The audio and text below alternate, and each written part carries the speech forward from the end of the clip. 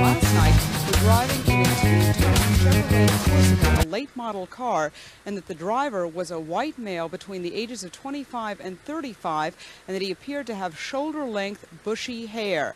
And Dave, the State Patrol also says that this is a clear indication that more and more people in the metro area are driving with guns in their cars and that it takes very little for them to be prompted into using them.